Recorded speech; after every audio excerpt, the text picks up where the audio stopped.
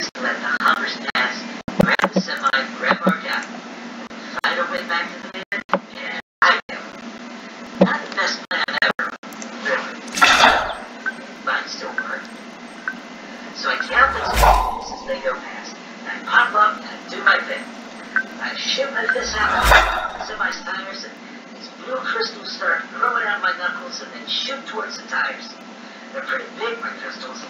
they shred the truck's tires all to hell.